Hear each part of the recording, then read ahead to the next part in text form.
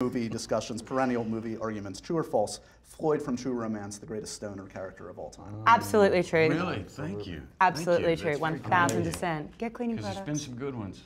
Condescend Don't me, condescend motherfucker. me. No, thank you. Condescend me, motherfucker. Uh, Godfather 1. Written by Quentin Tarantino. Of course. My favorite movie of all time. True Romance, the great Tony Scott. Really? I walked down the aisle to the True Romance music. Come on. What? Oh, that's good. Yeah, Mm-hmm. that's good. Comic book movies. I was saying to Margot earlier, there is a connection uh, in that Margot's next film, or a cou- upcoming film, was Birds of Prey, which was shot under the title, correct me if I'm wrong, Fox Force 5.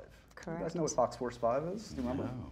Fox Force 5, you tell, Margot. Nice. In Pulp Fiction, when Uma and John Travolta are having their $5 milkshake, she's explaining the pilot that she, which I think in real life, Uma had done. I think that dialogue was based off the fact that, That she had done a pilot she like had done that. a pilot like that, and then he turned it into dialogue, and then she talks about Fox Force 5. And it's like a whole scene.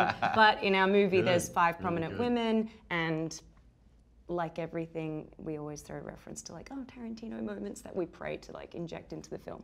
So it felt fitting. And Does- then also I asked Quentin, I was like, would you mind if we used the working title Fox Force 5? And he was like, he thought it was really funny. Does it have a little bit of that anarchic, uh, subversive Tarantino spirit? I of Prey? mean, yes, the spirit's definitely there. Yeah. Leo on, on this group is the only one that's alluded to comic book movies. You've done your time as Vanisher. Congratulations. Thank your role you. was amazing in Deadpool Thank 2. you.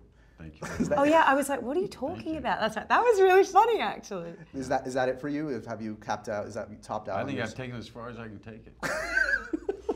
It's kind of mic drop. That was that was a good scene. Ryan Reynolds came up with a, a part that I could fill.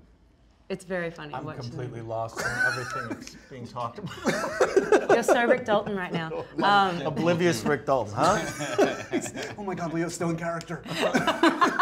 By the way, Yeah, what, dude. what, what, what I carry my characters a year after. Same losing your heart out. Last thing for you, there's an epic kind of a brain freeze moment for your character in this film where he just like melts down and you can't mm. get through it. Did that remind you of any particular moments in your careers where like you just could not get through a scene for whatever reason? Yeah. yeah, mm-hmm. a few of them come to mind. definitely, so many. compliments. I think we've all had those experiences, and they're the worst. They're, the, they're the, the nightmare of going to school in your underwear, but Yeah. the real live version of it. And you just can't get out of your own You head. got It 100 just- people Yeah. on set, Yes. and you're everyone wants to move on to the next or go home. You have a co-star who's already done theirs and done mm-hmm. it well, Yeah. and they're waiting on you.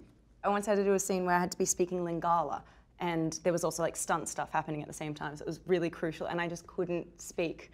I couldn't like. I was like, and I, I've practiced this for so many months, and I cannot get my mouth around this language right now, and I kept messing it It up. And it was usually has to do with being incredibly exhausted. I remember Yeah. doing uh, on the Aviator, I had a massive dialogue sequence, and then I just had two lines the next day. That was my whole day, and I couldn't, literally couldn't say those words. And poor Scorsese, Scorsese was just sitting there waiting like 40 takes later, like, oh my God, how, I could not say these two lines. Did it make the movie? It did.